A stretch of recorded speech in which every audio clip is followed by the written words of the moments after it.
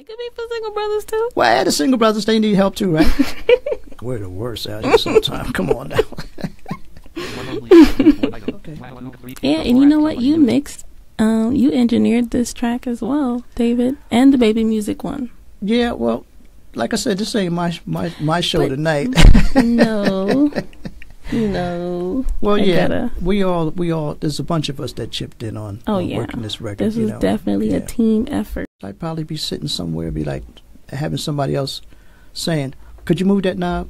Could you do this? Could you make the sound a little warmer? Mhm. Could you turn the highs up on this? Could you, you know, which is what I did in a Mhm. big part of my career, you know, because I've had some great engineers in my time period, hmm which led to me once I've gotten all this technology going on, you know, it's all memory stuff that what we've gone through. I'm just like doing what maybe Bob Brockman might have did, or or or uh, a Carl Beatty, or or many of the other engineers that have been, you know, in my life hmm that I just kind of remember. So I can't even imagine if we didn't have talking software where I would be Mm. and uh, music because I like to really sit down and grab something and make it sound the way I want it to sound. You know what I mean? hmm And then of course we we we bounce off of the artist, you. Because let me tell y'all something.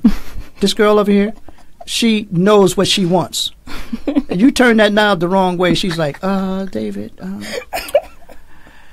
uh, I, I I think it should be a little brighter here, and the loud the the voice should be a loud, little louder." I'm like, "Hey."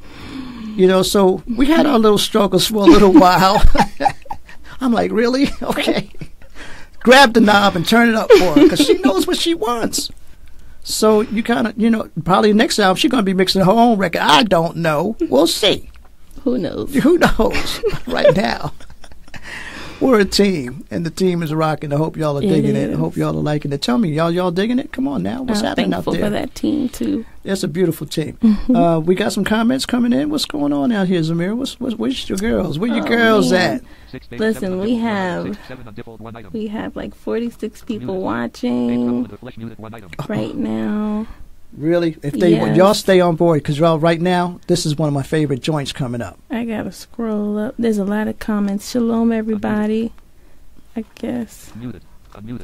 Well, listen, now that y'all on board, on deck, y'all got to hear one of my favorite on this album. Ah, this song. Now, y'all probably gonna be like, "Oh, he old school, so he like that old sound." I don't know what it is about this record. Excuse me. But I played it before on my show. I snuck it in there on y'all. It's called Trouble in the Flesh. Mm-hmm.